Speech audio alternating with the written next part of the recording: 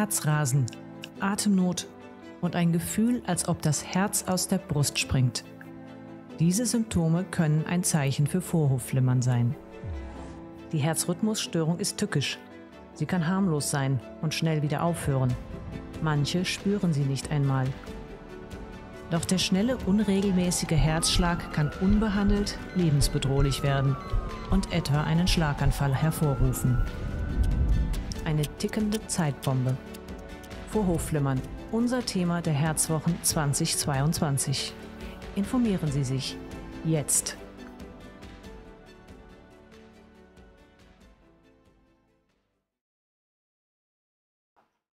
Hallo, hier ist die Deutsche Herzstiftung aus Frankfurt am Main mit ihrem Online-Seminar zum Start in die bundesweiten Herzwochen 2022. Und ich heiße alle Zuschauerinnen und Zuschauer dazu herzlichst willkommen. Gleich zu Beginn noch ein Hinweis. Sollten Sie direkt über den YouTube-Kanal der Deutschen Herzstiftung zuschauen, dann wechseln Sie bitte zu www.herzstiftung.de/live, denn nur hier haben Sie zusätzlich zum Livestream eine Fragenfunktion, die Sie jederzeit gerne nutzen können. Und die Fragen werden dann am Ende des Seminars beantwortet. Das kurze Eingangsvideo, ja, das hat sich ja bereits eingestimmt. In diesem Jahr stehen die Herzwochen, die größte Aufklärungskampagne zu Herzerkrankungen in Deutschland, unter dem Motto Turbulenzen im Herz zurück in den Takt. In über 500 kostenfreien Präsenz- und Online-Veranstaltungen und Aktionen an Kliniken und anderswo macht die Deutsche Herzstiftung als Initiatorin dieser Kampagne in diesem November auf die häufigste Herzrhythmusstörung aufmerksam, nämlich das Vorhofflimmern. Und eine dieser Veranstaltungen, die ist eben heute unser Online-Seminar, bei dem es in der nächsten Stunde um aktuelle Aspekte der Diagnose und Therapie bei Vorhofflimmern geht und bei dem Sie auch Gelegenheit haben, Ihre Fragen zu stellen. Weitere Veranstaltungstermine, die finden Sie übrigens auf der Website der Deutschen Herzstiftung unter www.herzstiftung.de/herzwochen. Dort können Sie dann passend zu Ihrem Wohnort durch Eingabe der Postleitzahl suchen. Außerdem finden Interessierte dort zum Thema Vorhofflimmern viele Berichte und diverse Broschüren, unter anderem auch diesen spannenden Sonderdruck, sowie Videos und Podcastgespräche mit Experten und Betroffenen. Und warum die Herzwochen 2022 unter dem Motto Turbulenzen im Herz zurück in den Takt stehen, das erläutert jetzt der Vorstandsvorsitzende der Deutschen Herzstiftung, Professor Thomas Vogtländer ärztlicher Direktor des Agaplesian Bethanien Krankenhauses in Frankfurt, den ich damit ganz herzlich begrüße und dem ich nun das Wort übergebe. Liebe Frau Ney, vielen Dank für die Einleitung. Sie haben ja schon einiges angedeutet. Ähm, schönen guten Tag, liebe Zuhörerinnen und Zuhörer, die Sie uns zugeschaltet sind mit diesem modernen ähm, Medium. Ich glaube, wir hoffen, Ihnen das trotz dieser virtuellen Variante auch näher bringen zu können. Was wollen wir Ihnen näher bringen? Das Vorhofflimmern. Das ist eine Erkrankung, die sehr, sehr häufig ist. Man geht davon aus, dass in Deutschland an dieser Rhythmusstörung etwa zwei Millionen Menschen leiden. Oder man kann es anders sagen, jeder Dritte über 55 wird irgendwann in seinem, Vorhof, in seinem Leben Vorhofflimmern erleiden. Warum ist Vorhofflimmern ein wichtiges Thema? Nicht nur, weil es so häufig ist und so viele Menschen betrifft. Wir altern ja alle, das heißt, es wird immer mehr werden, die Anzahl derer, die es betrifft. Nein, es hat auch eine lebensgefährliche Komponente und eine Komponente, die das Leben unangenehmer macht. Zunächst mal zum Letzteren. Jeder, der diese Rhythmusstörung einmal hatte, weiß es. Der schnelle, unregelmäßige Herzschlag kann die Lebensqualität ganz erheblich einschränken.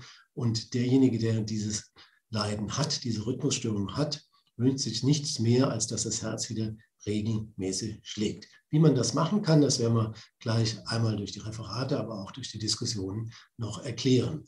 Warum ist Vorhofflimmern darüber hinaus auch lebensgefährlich? Weil es über das Bilden von Thromben in dem Herzen auch Embolien verursachen kann, die bis hin zum Schlaganfall gehen können. Das ist die ganz gefährliche Komponente des Vorhofflimmerns. Also ein großer großer Reigen von Problemen, die mit dem Vorflimmern zusammenhängen. Es betrifft sehr, sehr viele Menschen. Diejenigen, die noch nicht betroffen sind, haben eine gute Chance, das im Leben zu erleiden, sodass es sehr, sehr wichtig ist, sich darüber zu informieren und die mittlerweile sehr guten Möglichkeiten zu erfahren, die zur Behandlung des Vorflimmerns und auch zum Vorbeugen möglich sind. Vielleicht drei Worte, Frau Ney, wenn Sie mir erlauben, zur Deutschen Herzstiftung selbst. Die Deutsche Herzstiftung, für diejenigen, die sie noch nicht kennen, wird ja von fast allen gekannt, ist eine äh, Organisation, die insgesamt 107.000 Mitglieder hat. Es gibt, glaube ich, nur den ADAC, den DFB, der mehr Mitglieder hat. Also eine große Organisation, wo viele, viele Patienten, aber auch Laien, die noch nicht Patient geworden sind, Mitglieder sind. Das ist eine Organisation, die ähm, in die Kardiologie, in die Herzmedizin eingebettet ist. Wir haben einen wissenschaftlichen Beirat von mehr als 500 Herzspezialisten in ganz Deutschland. Der Professor Katus organisiert diesen wissenschaftlichen Beirat. Wir haben einen sehr stark besetzten Vorstand. Ich darf Frau äh, Professor Tiefenbacher auch begrüßen, die mit im Vorstand ähm, in der Herzstiftung ist, und viele andere, die auch sehr prominent die Herzmedizin in Deutschland vertreten. Ähm, ein wichtiger Punkt, was sind die Aufgaben oder Ziele der Herzstiftung? Das ist ganz wichtig natürlich die Prävention und Aufklärung. Wir haben viele, viele Programme äh, zur Information, wie heute Abend auch, auch Präventionsprogramme. Aber, und das ist ein etwas neuerer oder intensivierterer Fokus, wollen wir auch die Herz-Kreislauf-Medizin noch mehr unterstützen als in der Vergangenheit. Und auch zu dem Thema Vorhofflimmern hat die Deutsche Herzstiftung eine Million Euro zur Verfügung gestellt. Und überwiegend universitäre Gruppen haben mit Einzelprojekten sich beworben. Und von über 60 Gruppen sind nun ähm, 16 bedacht worden, die durch die Förderung der Deutschen Herzstiftung zum Vorhofflimmern weiter forschen können. Also ein weiter Reigen, den die Deutsche Herzstiftung abdeckt und als Aufgabe sieht. Und äh, wir sind froh, dass wir Sie alle als Partner haben und äh, wünschen jetzt bei der Sendung, Frau Ney, Sie machen das jetzt weiter, uns allen viel Erfolg und für alle Zuhörer einen hohen Informationsgehalt.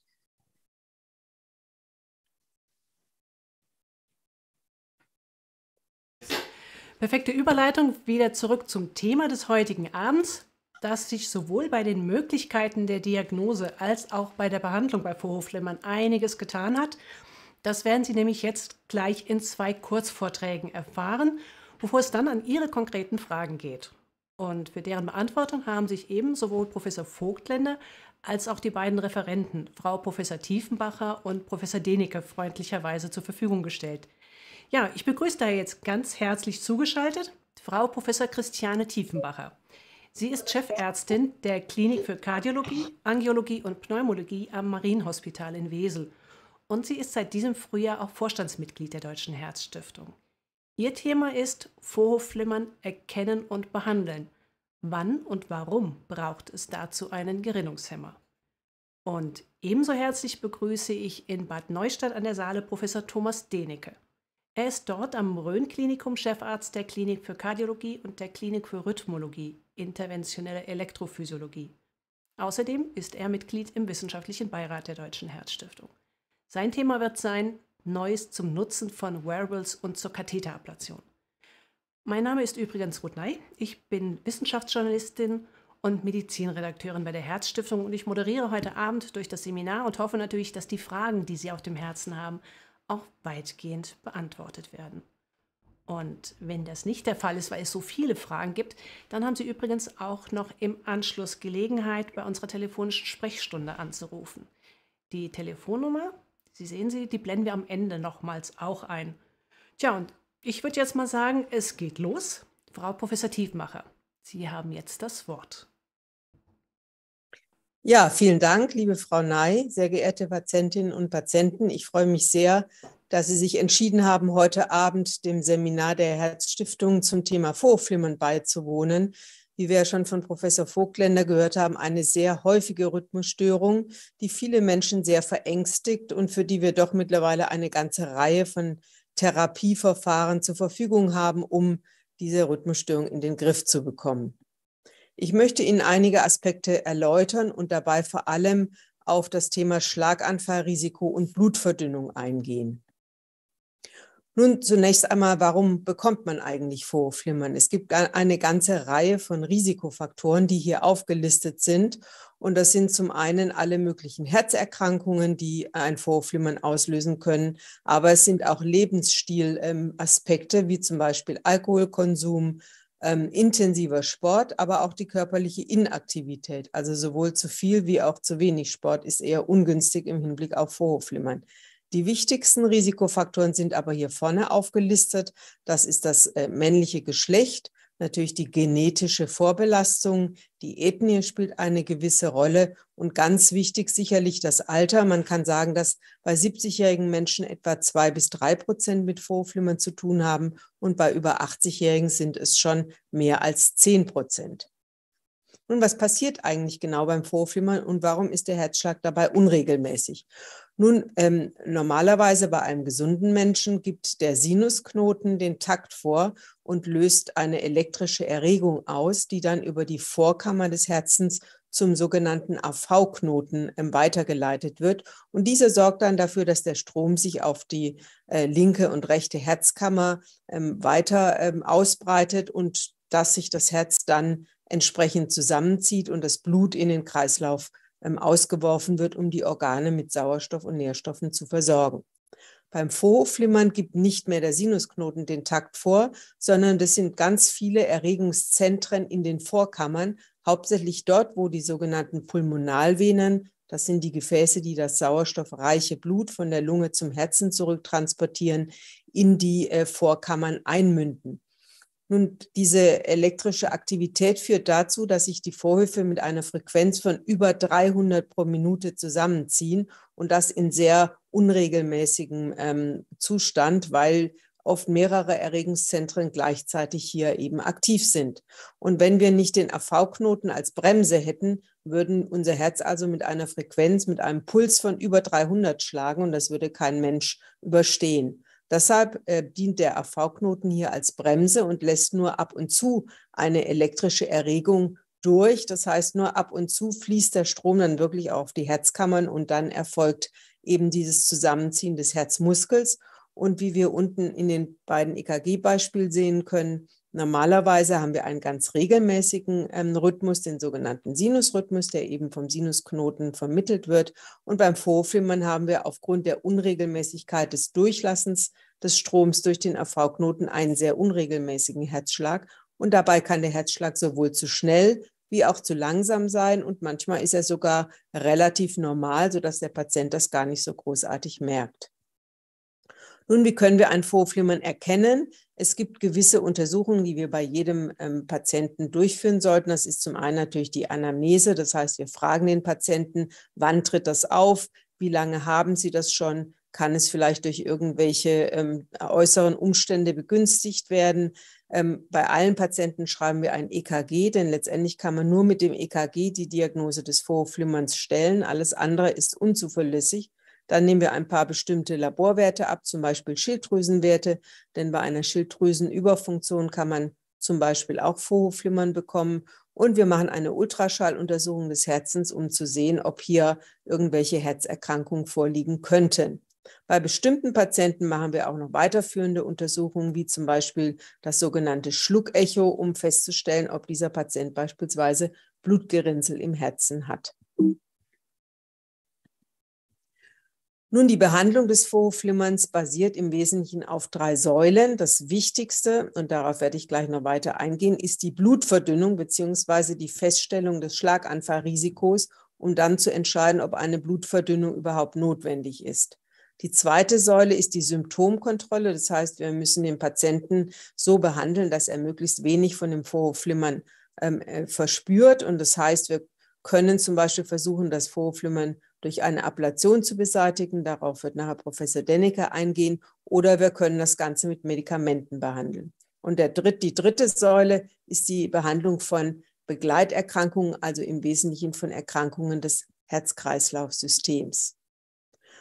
Warum müssen wir überhaupt das Blut verdünnen und warum kommt es überhaupt zum Schlaganfall? Nun, ich hatte gerade gesagt, dass es einen sehr schnellen Herzschlag in den Vorkammern gibt und das führt dazu, dass das Blut praktisch fast steht und ähm, dadurch kann es zu einer Gerinnungsaktivierung kommen. Sie sehen hier in der Mitte auf diesem Ultraschallbild eine ähm, ja so ovale ähm, äh, Form. Das ist ein Blutgerinnsel, was sich in der linken Vorkammer des Herzens gebildet hat durch das Vorhofflimmern. Und meistens bilden sich die Gerinnsel in dem sogenannten Vorhofohr. Das ist wie so eine Art Anhängsel innerhalb des Vorhofes. Und hier können sich gut vorstellen, da kann das Blut besonders gut gerinnen, weil das eben so ein bisschen abgetrennt ist vom Rest des, äh, der, des Vorhofes.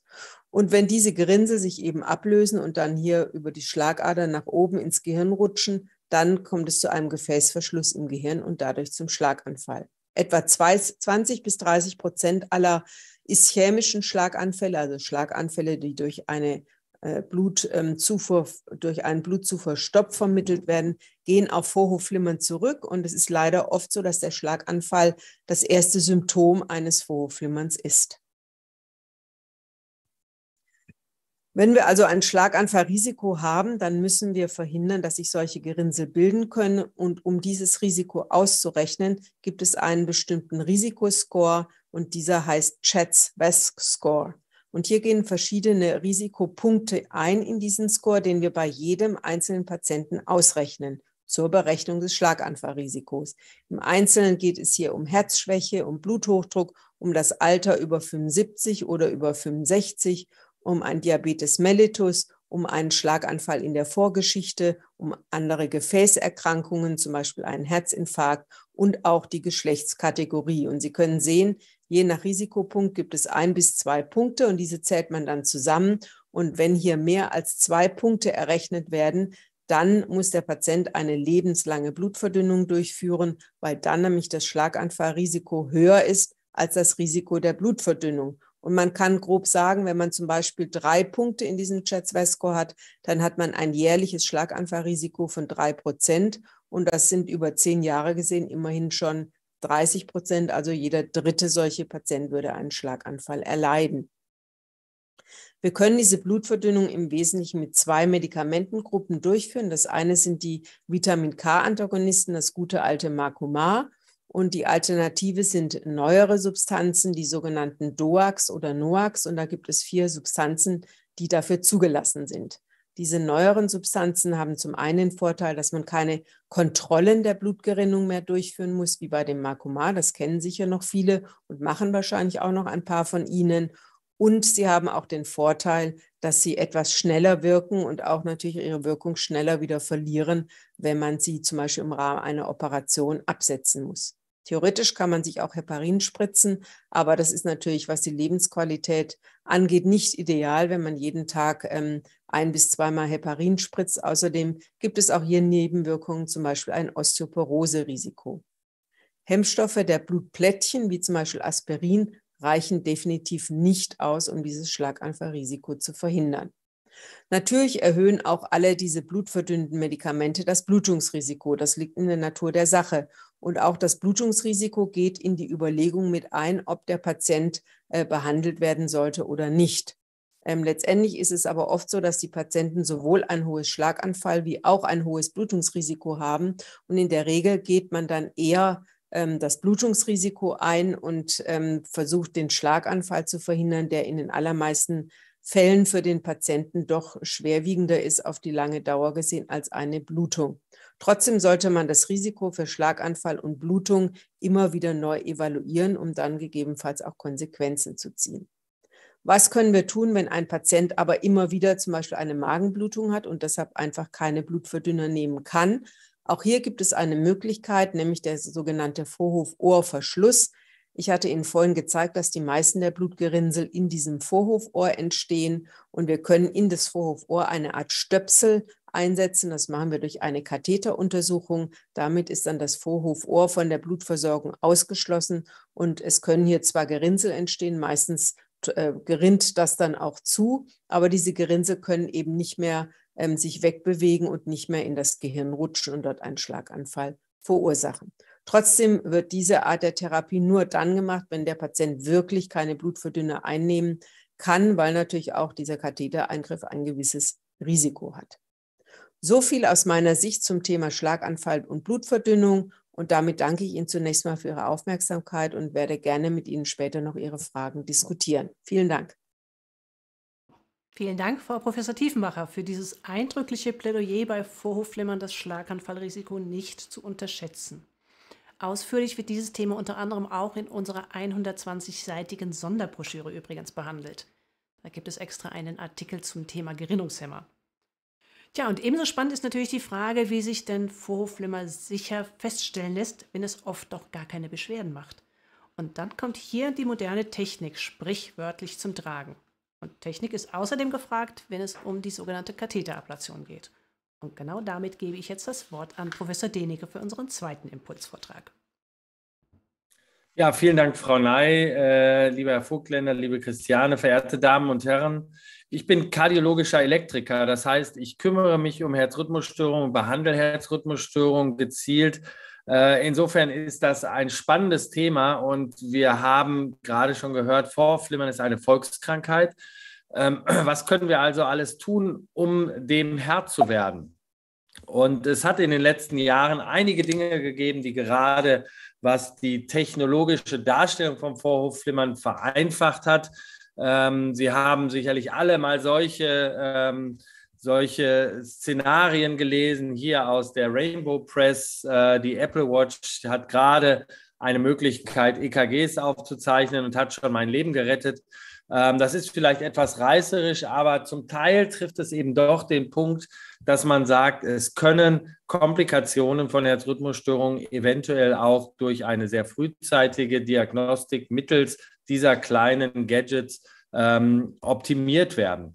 Und diese Wearables gibt es in unterschiedlichster Form. Es gibt eine Vielzahl von, äh, von tragbaren Funktionsgeräten, Smartwatches, Smartphones, die ermöglichen, ähm, Herzrhythmusstörungen zu dokumentieren, mehr oder weniger ähm, gut, mehr oder weniger effizient. Es gibt sogar T-Shirts, ähm, aufklebbare Patches, vereinzelt auch Brillen, die das ermöglichen sollen. Ähm, ich möchte aber davon abraten, einfach irgendeines dieser Systeme zu kaufen und dann die, der Hoffnung aufzulaufen, dass man hierdurch sicher vor Flimmern detektieren kann. Es gibt aber zertifizierte Systeme, Smart Watches, die zur Vorflimmerdetektion eben auch zugelassen sind. Hier sind die, die in Deutschland verfügbar sind und die in Deutschland, also in Europa zertifiziert sind, zum Teil auch in den USA zertifiziert sind, aufgezeichnet. Und diese Systeme sind dafür vorgesehen, auch ähm, Vorhofflimmern klinisch so zu diagnostizieren, dass man daraus eine therapeutische Konsequenz ziehen könnte. Ähm, prinzipiell gibt es zwei unterschiedliche technische Funktionen und ich möchte nicht viel in die Technik eingehen, aber zumindest einmal sagen, dass es eine kontinuierliche Überwachungsoption gibt. Das ist ähm, basiert auf der den pulsatilen Fluss des Blutes in den oberflächlichen Hautgefäßen, die über die, äh, die über die tragbaren Systeme abgeleitet werden kann. Und diese Systeme schauen einfach, ist das Ganze regelmäßig oder ist es unregelmäßig? Wenn es unregelmäßig ist, könnte es, und da stecken Rechnen, Rechenprozesse hinter, könnte es beispielsweise Vorhofflimmern sein. Den Durchbruch haben diese Systeme alle dadurch erzielt, dass sie eben zusätzlich zu dieser kontinuierlichen Funktion auch noch die Möglichkeit haben, EKGs aufzuzeichnen. Und das ist etwas, was sich in, äh, in der Vergangenheit als sehr, sehr hilfreich herausgestellt hat. Hier mal das ähm, am häufigsten verwendete Beispiel der Apple Watch, die bei Bedarf ein EKG aufzeichnen lässt und somit erlaubt, auch ein hochauflösendes EKG-Dokument 30 Sekunden lang von den Rhythmusstörungen zu kreieren. Zusätzlich zu der internen Überwachung, ist der Puls regelmäßig oder unregelmäßig, kann ich dann halt auch gezielt zu bestimmten Zeitpunkten eben ein EKG aufzeichnen.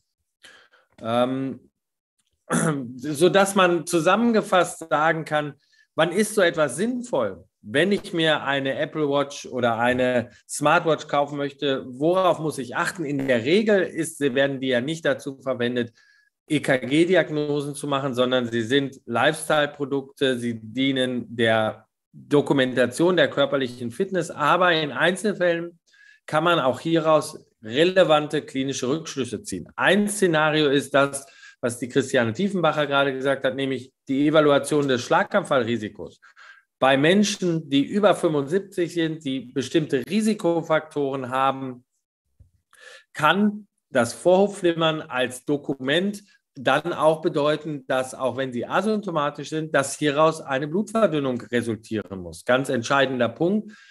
inwieweit das in der Klinik funktioniert, ähm, wird in Studien gerade untersucht. Es gibt aber eben auch die Patienten, die sehr selten episodenhaftes Herz Herzrhythmusstörungen haben, die bisher nie im Langzeit-EKG oder im normalen EKG beim Hausarzt aufgezeichnet wurden. Diese Patienten haben über diese Systeme die Möglichkeit, ein EKG-Dokument, wenn es auch sehr selten ist, eben ein EKG-Dokument in einer solchen äh, Phase aufzuzeichnen. Generell, und das ist auch schon angeklungen, ähm, halte ich es dringend für notwendig, bei jedem, unabhängig davon, wie das Schlaganfallrisiko ist, bei jedem Patienten oder jedem Anwender von Smartwatches, die Vorflimmern dokumentiert haben, eben auch einmal genauer am Herzen nachzugucken, ist da alles in Ordnung. Häufig könnte es eine Herzschwäche sein, es könnte eine Bluthochdruckerkrankung dahinter stecken, es können auch andere Erkrankungen wie Herzklappenerkrankungen eine Rolle spielen, die ähm, dann eben auffallen, sodass das immer ein Trigger sein sollte, hier ärztlicherseits dann vorzugehen und als Patient eben mit diesem Dokument beim Arzt vorzusprechen. Das, wenn ich das so betone, bedeutet es, dass eben alleine das System keine eigenständige Diagnose, Diagnose stellen kann, sondern hierzu brauchen wir versierte Kardiologen, versierte Kollegen, die sich mit diesen EKGs auskennen. Wir setzen es beispielsweise auch in der Nachuntersuchung unserer Patienten nach bestimmten Rhythmusinterventionen ein, um zu sehen, wie häufig sind noch Rhythmusstörungen, gibt es eventuell noch andere Rhythmusstörungen oder ähnliches. Und das zusammengefasst bedeutet also, sowohl asymptomatische als auch symptomatische Anwender von Smartwatches oder äh, Wearables haben die Möglichkeit darüber, eine Verbesserung der Diagnostik, eine höhere Sensitivität und Spezifität ihrer Diagnose zu erzielen. Es wurde bereits gesagt, dass Vorflimmern eine Volkskrankheit ist, die häufigste Herzrhythmusstörung, mit der wir es zu tun haben. Es kann episodenhaft sein, es kann anhaltend sein, es kann Beschwerden machen, es muss aber auch keine Beschwerden machen. Circa 90 Prozent der Patienten, die Vorflimmern haben, haben Einschränkungen wie beispielsweise Luftnot, Belastungseinschränkungen, Schwindel, Herzstolpern. Aber in einzelnen Fällen ist eben auch der Schlaganfall das erste Symptom von Vorhofflimmern. Das wollen wir natürlich alle nicht. Wir wissen aber auch zusätzlich, dass zwei Drittel der Patienten, die bereits dokumentiertes Vorflimmern haben, eben auch asymptomatische Phasen haben, die sie nicht merken, weil sie beispielsweise nachts sind oder weil sie da diesbezüglich abgelenkt sind oder sich dadurch nicht beeinträchtigt fühlen. Inwieweit das gehen kann und wie stark diese Einschränkung sein kann, möchte ich Ihnen nur anhand eines Beispiels eines amerikanischen Basketballprofis darstellen.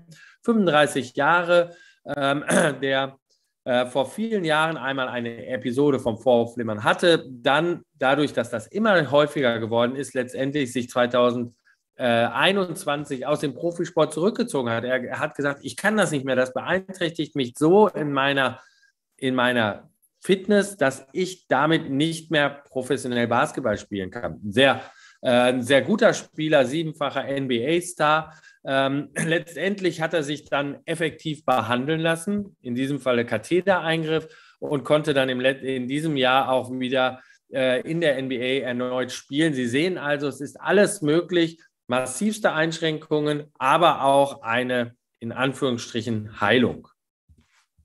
Und da bin ich nun bei dem Thema, dem zweiten Thema, nämlich der Katheterbehandlung. Denn eine Heilung dieser Herzrhythmusstörung ist nur dann wirklich möglich. Unter Heilung meine ich jetzt etwas überspitzt, weil es sich hierbei ja um eine Herzrhythmusstörung handelt, die prinzipiell immer wiederkehren kann. Aber es ist ein elektrisches Chaos der Vorkammern. Und wie Frau Tiefenbacher gerade schon gesagt hat, ist die häufigste Ursache sind, wie Sie hier sehen, falsche Zündkerzen, die in den Lungenvenen, also auf der linken Seite des Herzens, der linken Vorkammer sitzen. Meistens ist es aber nicht nur eine falsche Zündkerze, sondern es sind mehrere. Es können auch an unterschiedlichen Stellen diese falschen Zündkerzen sein.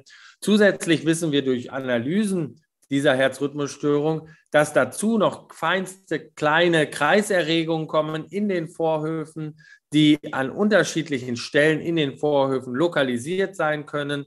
Es können aber auch größere Kreiserregungen noch Teil dieser Rhythmusstörung sein, die auch die rechte und die linke Vorkammer mit beeinflussen, sodass es letztendlich eine komplexe Herzrhythmusstörung ist, die nicht bloß einfach mit einem Medikament oder mit einer Katheterbehandlung ähm, behandelt werden kann, sondern hierzu sind komplexe Eingriffe notwendig, ähm, die durch die Katheterablation aber zum großen Teil sehr effizient gemacht werden können. So sieht eine solche Katheterablation dann letztendlich aus. Man braucht Katheter im Herzen in der linken Vorkammer, die man hier sieht. Das ist ein Röntgenbild, wo man den Katheter bewegt. Das ist ein sogenannter Lasso- oder diagnostischer Katheter, der hier auch abgebildet in der dreidimensionalen Struktur des Herzens über spezielle Computersysteme das Herz abtasten kann und somit dann diese Lungenvenen, das sind diese feinen Strukturen, identifizieren kann, die dann letztendlich auch im Endeffekt so umfahren werden können, hier mit einem Punkt-für-Punkt-Verfahren, um so elektrisch diese falschen Zündkerzen vom Rest der Vorkammer zu trennen aber die Vorkammern auch noch auf andere Herzrhythmusstörungen äh, und Vernarbungen hin analysieren kann. Die Erfolgsraten liegen bei 60 bis 85 Prozent ab, hängt von vielen Faktoren, vor allen Dingen aber von möglichen Begleiterkrankungen ab. Die Katheterbehandlung ist allerdings effektiver als jede Medikamentenbehandlung. Das haben unterschiedlichste Studien auch im verblindeten Vergleich gezeigt. Die Katheterablation hat äh, eine wesentlich höhere Effektivität und verbessert dementsprechend auch die Lebensqualität relevant besser, als es Medikamente ermöglichen. Ähm, was dazu geführt hat, dass ja auch zunehmend auch in den Leitlinien diese ähm, die Katheterablation sehr in den Vordergrund geführt wird. Meines, meines Erachtens auch zu Recht. Zum Schluss möchte ich Ihnen nur zwei stichwortartige Studien zeigen, äh, die, die das belegen. Zum einen die Cabana-Studien, zum anderen die EastAF-Net. Vier Studien brauchen Sie sich die Namen nicht merken. Nur was man sehen kann in einem großen äh, Kollektiv von über 2000 Vorflimmerpatienten, Vergleich Katheterablation mit Medikamententherapie, schneidet die Katheterablation relevant besser ab bei allen Endpunkten, scheint aber auch wenn sie denn effektiv durchgeführt wird, Überlegenheit bezüglich möglicher Komplikationen des Vorflimmerns zu beinhalten. Und zum anderen, die East IFNet 4 Studie hat gezeigt, dass wenn man das macht, dann nach Möglichkeit sehr frühzeitig, um so nach Möglichkeit die Prognose der Patienten frühzeitig zu verbessern. Das heißt, Katheterablation und Medikamentenbehandlung zur Rhythmusstabilisierung möglichst frühzeitig. Und hierzu gibt es unterschiedliche Zentren. In Deutschland gibt es ein Projekt der Deutschen Gesellschaft für Kardiologie, die diese Zentren zertifiziert. Sie sehen hier eine Landkarte der deutschen, in Deutschland zertifizierten Zentren, die sich mit diesem Thema der Katheterbehandlung von Vorflimmern sehr intensiv beschäftigt haben. Ähm, insgesamt fast 50 Zentren, ähm, die zeigen, dass diese Therapie mit einer sehr, sehr geringen Komplikationsrate behaftet ist und ähm, sie brauchen sich nicht an der Größe dieser Punkte zu, äh, zu stoßen. Sie haben keine Bedeutung. Ich konnte es nur nicht anders darstellen. Letztendlich gibt es deutschlandweit eine Vielzahl von effizienten Zentren, die sich intensiv mit der Therapie von Vorflimmern beschäftigen. Ein Punkt möchte ich noch ganz kurz zum Schluss machen, wo das Vorhofflimmern ein wirklicher in Anführungsstrichen Killer sein kann, ist nämlich bei Patienten mit einer Herzschwäche. Hier führt das Vorflimmern weiter zu einer Verschlechterung der Herzschwäche auf der einen Seite und eine effektive Behandlung kann hier den Verlauf dieser Erkrankung verbessern. Vielen Dank für Ihre Aufmerksamkeit. Vielen herzlichen Dank, Professor Tehnecke, für diesen spannenden Vortrag. Und natürlich auch zu diesen von Ihnen erwähnten Themen finden sich passende Beiträge in unserer Sonderbroschüre zu den Herzwochen.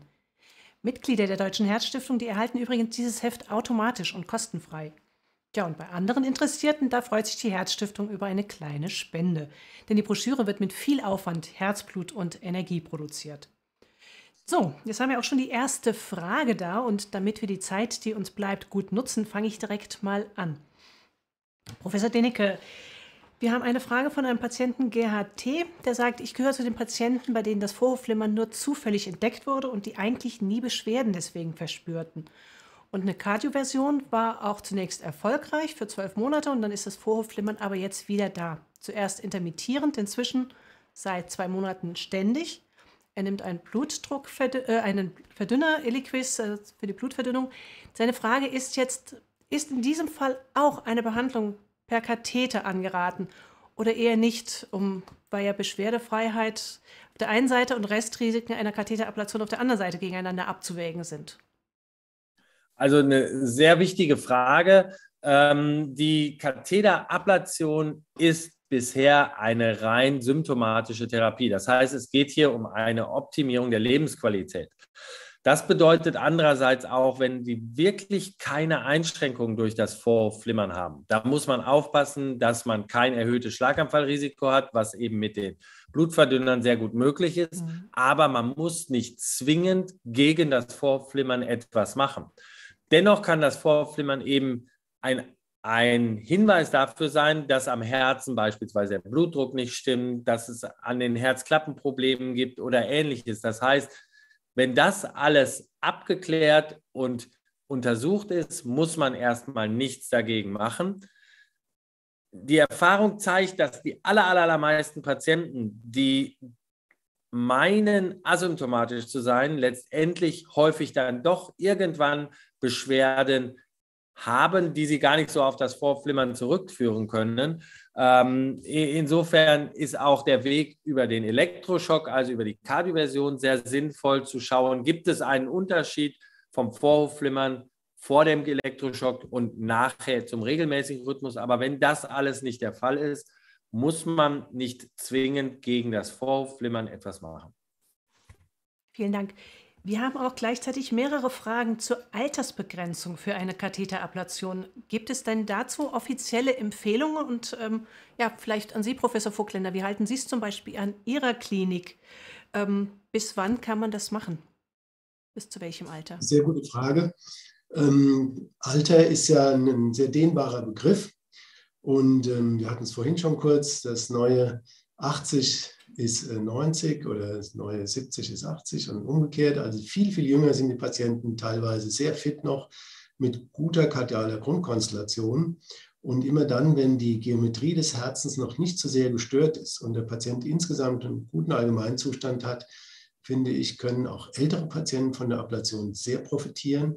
Und da gibt es auch Sonderkonstellationen, wenn durch, beispielsweise durch das Vorflimmern eine Herzschwäche Passagier aufgetreten ist, sind das aus meiner Sicht auch gute Kandidaten, die auch bei höherem Alter einer äh, Therapie mittels Ablation zugeführt werden können. Hängt natürlich immer davon ab, wie ist die kardiale Situation insgesamt und wie ist die ähm, Verfassung des Patienten insgesamt.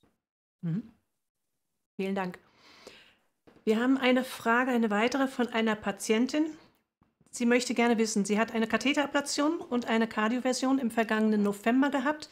Sie sind, nimmt seitdem Medikamente, unter anderem als Beta-Blocker Bisoprolol, das Flecainid als Antiarrhythmikum und zur Blutverdünnung noch Lixiana. Jetzt wurde bei einem Langzeit-EKG im Mai diesen Jahres ein, ein stabiler Sinusrhythmus festgestellt und sie stellt sich jetzt die Frage, wie weit muss ich denn die Medikamente noch nehmen? Gerade bei Gerinnungshämmern stellen ja viele Patienten aus Furcht vor dem erhöhten Blutungsrisiko genau diese Frage.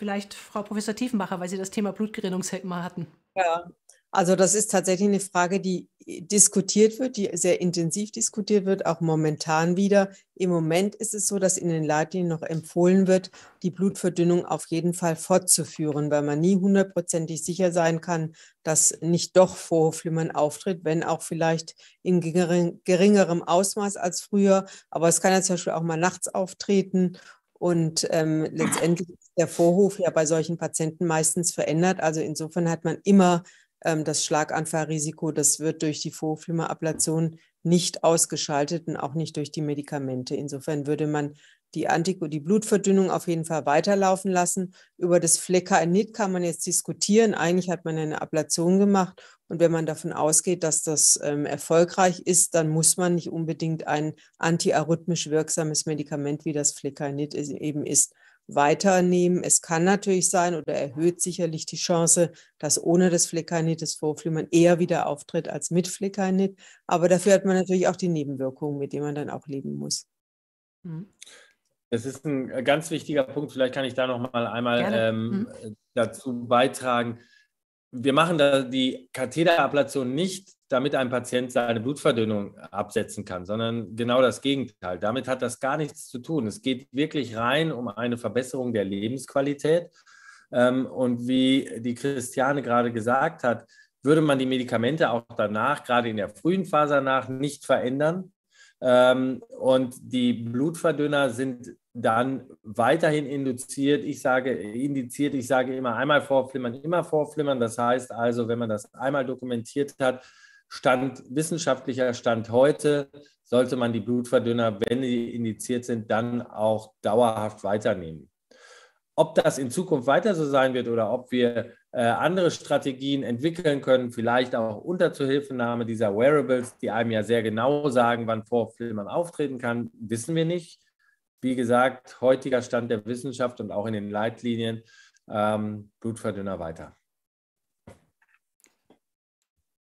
Stichwort Wearables. Wir hatten eine Frage reinbekommen. Da ging es darum, dass ähm, die Smartwatch zeigt an 180 Schläge auch in Ruhe, aber nicht Vorhofflimmern. Ähm, wie verlässlich ist denn so eine Aussage, Professor Denecke? Ah, ist schwer zu sagen. Die allermeisten Smartwatches machen ab einer Herzfrequenz, ich glaube, von 120 gar keine Analyse mehr, ob es Vorflimmern sein könnte oder nicht. Ähm, insofern steht in der Regel da auch nicht kein Vorflimmern, sondern es steht nur äh, Rhythmus nicht analysierbar. Ähm, das große Problem der Smartwatches ist, wenn sie nicht auch gleichzeitig die Funktion haben, ein EKG aufzuzeichnen.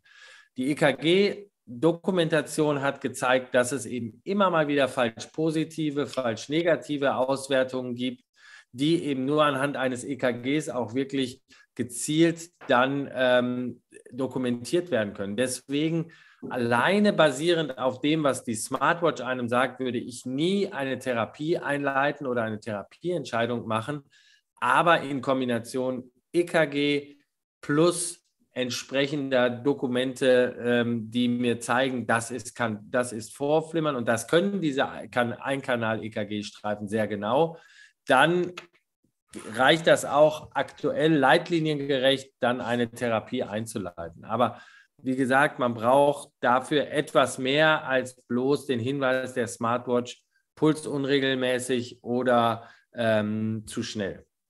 Mhm.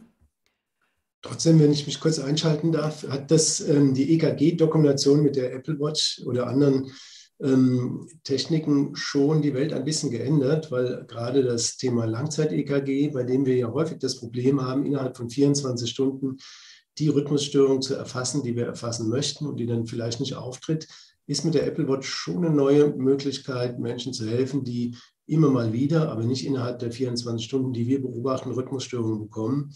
Und gerade das EKG ist häufig von hoher Qualität, das, sodass man dann, wenn ein Kardiologe das sich auch angeguckt hat, entsprechende Diagnostik machen kann. Also da hat sich die Welt schon geändert. Ich glaube, da äh, spreche ich auch in Ihrem Sinne, Herr Denige. Also absolut. Das ist, das ist einer der großen Bereiche. Ich hatte das ja auch als, äh, als eines der Szenarien aufgeführt. Was man eben dafür braucht, ist die Symptomatik. Das heißt also, ein Patient, der nicht weiß, dass er Herzrhythmusstörungen hat, der kriegt natürlich auch darüber jetzt nicht den Impuls, ähm, ein EKG aufzuzeichnen. Das ist eben halt das, was den aktiven Prozess beinhaltet ähm, in dieser Dokumentation, die reine Aufzeichnung der Regelmäßigkeit des Pulses kann hilfreich sein, ist aber fehlerbehaftet. Insofern, da muss man etwas vorsichtig sein mit dem EKG zusammen und jemandem, der sich mit diesen EKGs auskennt, vollkommen richtig, Herr Vogtländer, ist das ein absoluter Segen. Mhm. Leider müssen die Smartwatches immer auch mal geladen werden. Wenn gerade dann die Rhythmusstörungen auftreten, hat man ein kleines ja. Problem. Gut. Kleines Risiko bleibt immer. Eine Frage gab es auch, wir haben jetzt viel gehört, wie erfolgreich die Ablation sein kann, aber eine Patientin fragt, nach dreimaliger erfolgloser Ablation wurde bei ihr das Hissbündel durchtrennt. Das sind also auch Nervenzellen oder Herzzellen, die mit zum Erregungsleitungssystem im Herzen gehört. Die wurden durchtrennt und es wurde ein Schrittmacher implantiert. Sie nimmt auch weiterhin Blutverdünner, in dem Fall Marcumar. Und die Patientin möchte gerne wissen, welche Alternativen bei ihr denn bestehen jetzt nach bestehender dreimaliger Ablation. ja, also nach dreimaliger Ablation wird es dann schon sehr schwierig und man hat ja im Grunde genommen auch schon aufgegeben. Das zeigt diese Therapieform der Hiss- oder AV-Knotenablation. Das heißt, dadurch verhindert man, dass das Vorflimmern von der Vorkammer auf die Haut, Hauptkammer übergeleitet wird. Das heißt, das Vorflimmern besteht weiterhin und das hat man eben auch nach dreimaligen Versuchen nicht wegbekommen. Und was man jetzt durch die ähm, Ablation bewirkt, ist, dass einfach der Herzschlag nicht mehr so schnell ist. Und bei manchen Patienten, das hatten wir vorhin auch schon besprochen, werden eben sehr viele von diesen elektrischen Aktivitäten der Vorkammer übergeleitet und die haben dann zum Beispiel eine Frequenz von 190 oder 180 und da bleibt dann, wenn es medikamentös auch nicht geht, tatsächlich nur diese Option.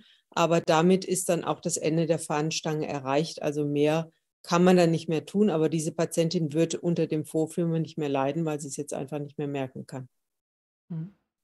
Wenn ich jetzt auch ergänzen darf, das ist schon auch für einige Patienten eine sehr gute Option. Der Schrittmacher muss natürlich funktionieren, weil der AV-Knoten dann nicht mehr funktioniert, aber das ist heutzutage eigentlich in ganz überwiegendem Anzahl oder es gibt praktisch keine Ausnahmen, dass der Schrittmacher irgendwie nicht funktionieren sollte. Man, wir nennen das ja eine Tachyarrhythmie, die dann sehr symptomatisch wird. Und viele Patientinnen sind es häufig, ältere Patientinnen haben im Rahmen dieser Tachyarrhythmie nicht nur äh, sozusagen Probleme wegen des Rhythmus, sondern entwickeln dann auch eine schwere Herzinsuffizienz.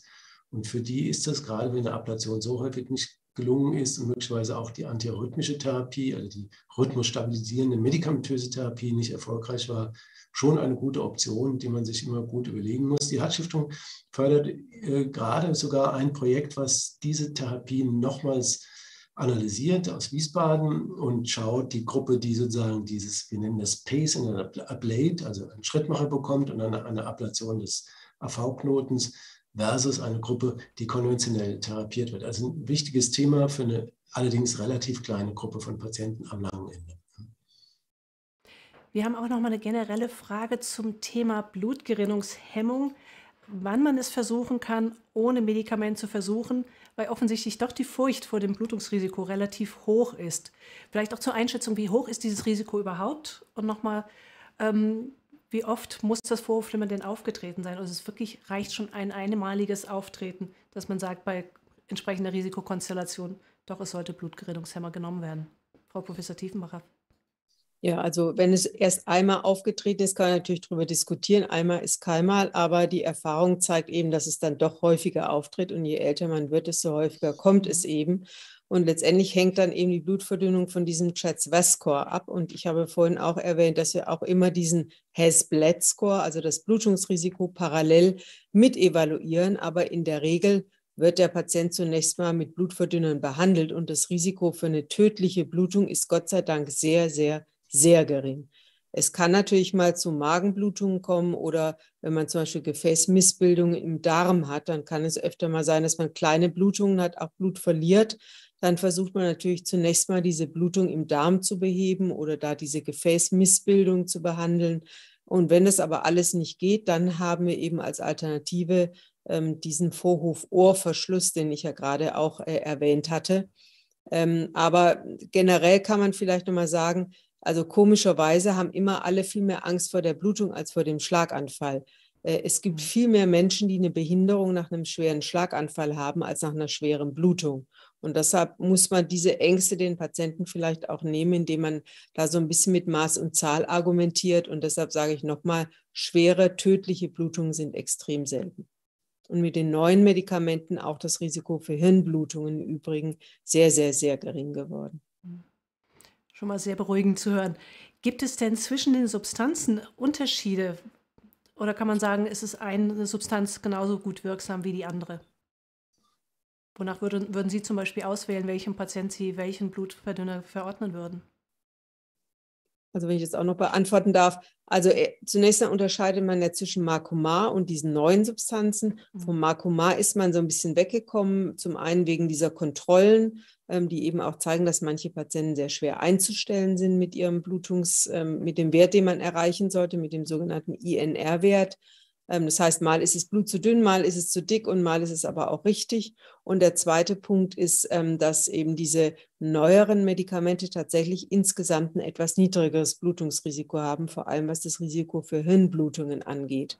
Und da sind alle vier Substanzen zunächst mal in etwa gleich.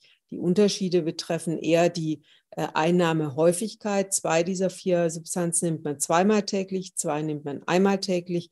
Da gibt es dann auch wieder Vor- und Nachteile und auch ein bisschen Patientenwunsch. Die einen sagen, ich nehme lieber nur morgens eine, dann vergesse ich die abends nicht. Und die anderen sagen, ich nehme sowieso morgens und abends, dann teile ich das lieber auf. Ähm, und dann gibt es noch bestimmte Aspekte, zum Beispiel im Hinblick auf Nierenfunktion oder Alter des Patienten oder ähm, die Begleitmedikation. Und da gibt es dann noch Gründe, warum man sich im Einzelfall eher für das eine oder für das andere dieser vier neuen Substanzen entscheidet. Mhm. Vielen Dank. Wir haben noch eine wichtige Frage, die wir noch gar nicht thematisiert hatten, nämlich wie kann man denn im Vorfeld darauf Einfluss nehmen, dass man gar kein Vorhofflimmern bekommt? Habe ich da irgendwelche Möglichkeiten über die Ernährung, über Bewegungen, über Gewichtsreduktion? Was würden Sie ja, da? Das ist eine sehr gute Frage für Professor Vogtländer, genau. weil da ja die Deutsche Herzstiftung auch sehr viele gute Empfehlungen gibt. Mhm. Ja, also das Vieles ist in der Tat ein bisschen schicksalshaft. Also man kann das Vorhofflimmern nicht komplett wegtrainieren zum Beispiel. Dennoch ist mäßiges körperliches Training gut. Auf der anderen Seite Marathonläufer oder Leistungssportler im, im Ausdauerbereich haben sogar ein bisschen höheres Risiko, ein Vorhofflimmern zu bekommen. Die meisten, die jetzt zuhören, werden kein Marathon laufen, sondern mäßiges Ausdauertraining machen. Und das, das ist gut zur Vorbeugung.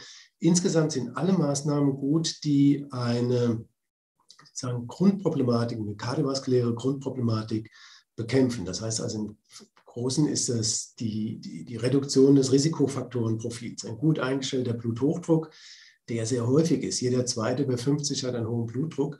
Also ein gut eingestellter Bluthochdruck ist eine ganz entscheidende Maßnahme, um das Auftreten von Vorflimmern ähm, zu verringern. Auch äh, die Frage koronare Herzerkrankungen ist immer verbunden mit der Reduktion des Risikofaktorenprofils. Auch wenn die nicht auftritt, ist das Vorflimmern auch eher seltener. Auch eine frühzeitige Analyse, wie ist überhaupt mein kardiovaskulärer Status? Habe ich einen Herzfehler? Ja, nein. Und dann früh zu reagieren, kann dann, wenn das früh erkannt wird, früh behandelt wird, auch das Auftreten eines Vorflimmerns äh, begrenzen. Viele Patienten überlegen sich, wenn sie Vorflimmern haben, habe ich irgendwie was verkehrt gemacht? Habe ich zu wenig geschlafen? Habe ich zu viel geschlafen? Habe ich zwei Glas Wein zu viel getrunken, zu wenig getrunken? Den kann man eigentlich versichern, das hängt so nicht so ganz eng zusammen. Es gibt zwar Patienten, die schildern, nach einem Glas Rotwein gibt es das häufiger, das Vorhofflimmern, aber das löst im Kern nicht das Problem Vorhofflimmern, sondern das ist abhängig einmal von der Disposition generell und abhängig von den genannten Risikofaktoren. Und da darf ich vielleicht noch ergänzen, ein Punkt, der sicher auch in den letzten Jahren ein bisschen in den Vordergrund gerückt ist, ist das Körpergewicht. Also das spielt doch eine erhebliche Rolle und ähm, ein hohes Körpergewicht senkt auch deutlich die Chancen für einen Therapieerfolg der Ablation. Ähm, und mhm. deshalb ist also eine gesunde Ernährung und möglichst Gewichtsabnahme, wenn man dann übergewichtig ist, ein ganz wichtiger Punkt. Und da gibt es ja auch von der Deutschen Herzstiftung tolle Broschüren zur Mittelmeerkost und so weiter. Also das ist sicherlich empfehlenswert. Wir haben jetzt noch eine weitere Frage und zwar geht es um die Schwere der Symptomatik. Lässt sich anhand dieser Schwere denn irgendetwas ablesen, ob das Vorhofflimmern besonders ähm, schädigend ist? Also macht das einen Unterschied für den einzelnen Patienten? Gibt es vielleicht auch in der Symptomatik Unterschiede zwischen Männern und Frauen, so wie man es manchmal bei der Herzinfarktsymptomatik auch kennt? Also wenn ich Frau Tiefmann ganz kurz anfangen darf. Mhm. Ähm, es gibt eine Klassifikation, sogenannte ERA-Klassifikation zum, zum Ausmaß der Symptomatologie bei Vorhofflimmern. Und äh, im klinischen Alltag oder wenn wir Patienten sehen, ist es tatsächlich eine ganz große Bandbreite. Es gibt ähm, häufig auch jüngere Patienten mit Vorhofflimmern, die sehr, sehr starke Symptomatik haben, die auch sagen, ich kann das kaum mehr als ein paar Stunden akzeptieren, wenn das Vorhofflimmern da ist bis hin zu einer Symptomatik, die man auch sehr geschickt in der Anamneseführung herausarbeiten muss. zum Beispiel bei Belastung. Das ist äh, nicht ganz selten, dass äh, Patienten, die Vorhofflimmern haben, das Herzstolpern gar nicht so spüren, sondern mehr die Belastungseinschränkung. Das muss man dann ein bisschen erfragen.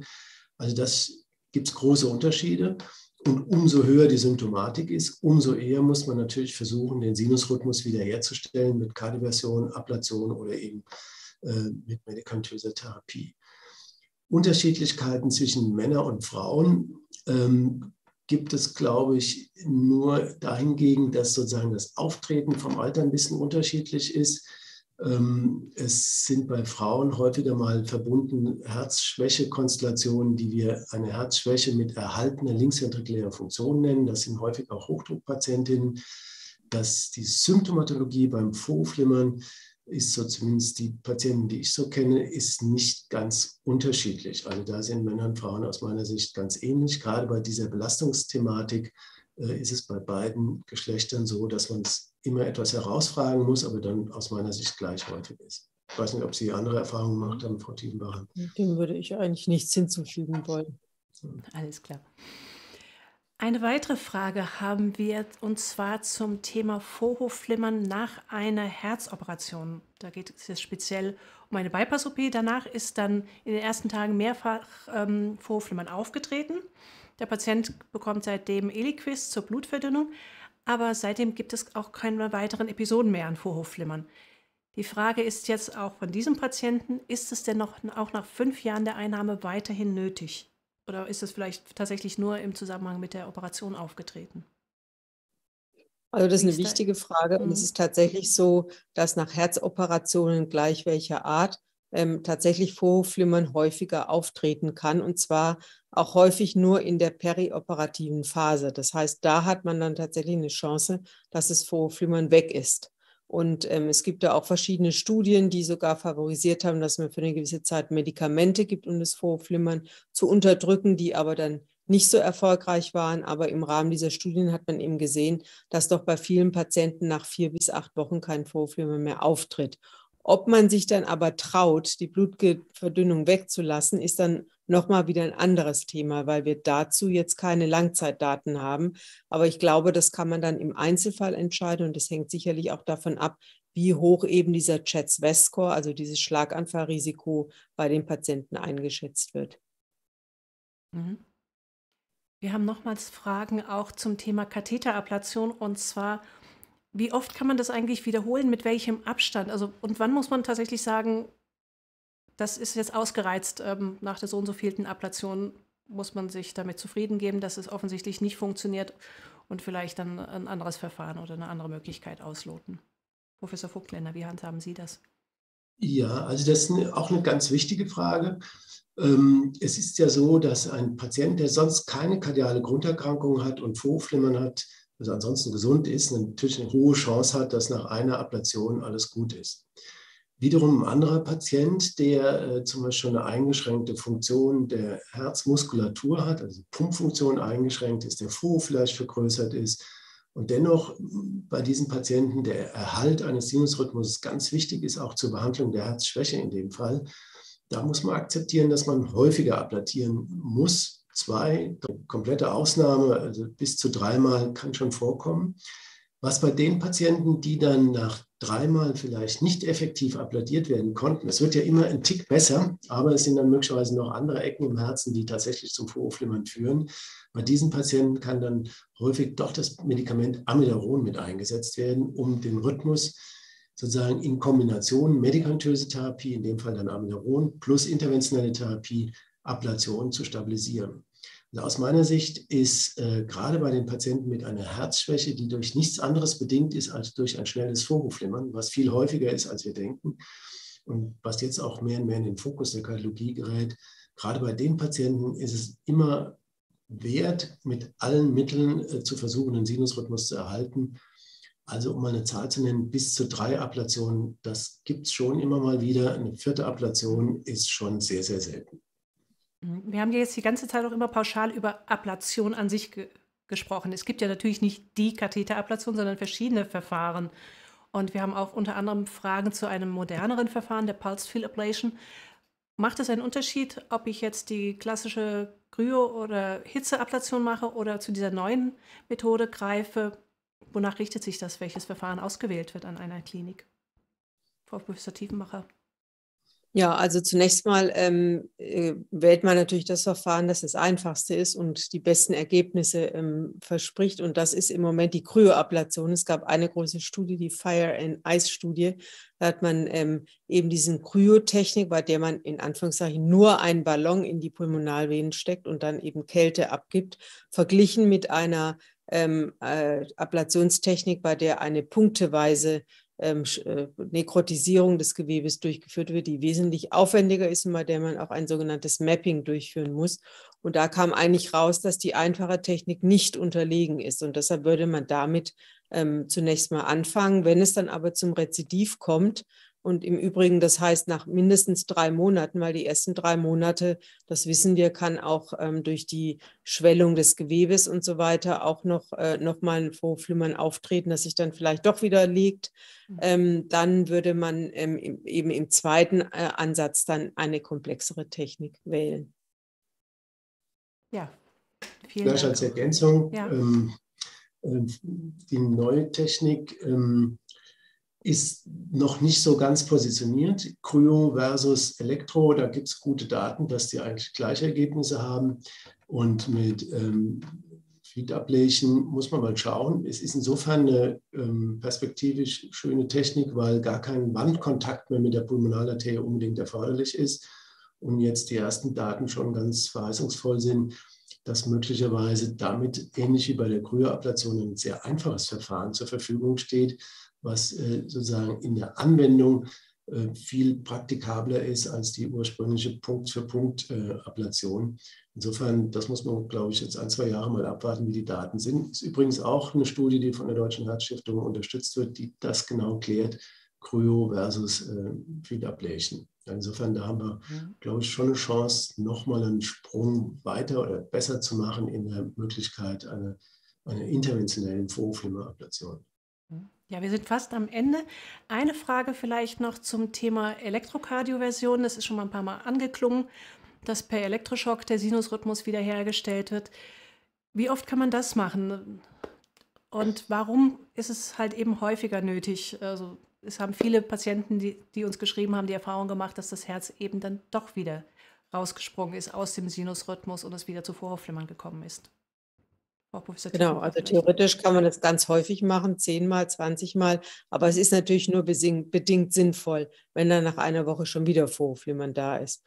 Ähm, dann macht dieses Verfahren für den Patienten auf Dauer keinen Sinn, sondern da muss man dann eher über medikamentöse Therapie oder eben über die Ablation nachdenken. Ja, herzlichen Dank für diese Beantwortung der vielen Fragen. Liebe Zuschauerinnen und Zuschauer, eine Stunde bei einem so komplexen und spannenden Thema wie Vorflimmern, die geht natürlich in 0, nichts vorbei. Und ich sehe, dass wir in der Chatfunktion zwar noch etliche Fragen haben, auf die wir leider nicht mehr eingehen können. Aber Sie haben noch die Möglichkeit, die Telefonsprechstunde der Deutschen Herzstiftung zu nutzen. Und diese ist noch bis 20 Uhr aktiv. Sie sehen die Telefonnummer. Ja, ich kann Ihnen ansonsten natürlich ans Herz legen, nutzen Sie die von Experten geprüften Informationen auf der Website der Deutschen Herzstiftung. Regelmäßig informiert wird natürlich ganz automatisch, wer zum Beispiel Mitglied der Deutschen Herzstiftung ist oder im besten Fall natürlich jetzt wird und wer den kostenfreien Newsletter abonniert. Sehr herzlich möchte ich mich nochmals bei den Experten des heutigen Online-Seminars bedanken. Frau Professor Tiefenbacher und auch bei den beiden Herren Professor Fuckländer und Professor Denecke für die großartige Unterstützung. Allen Zuschauern wünsche ich an dieser Stelle einen schönen Abend und bleiben Sie gesund.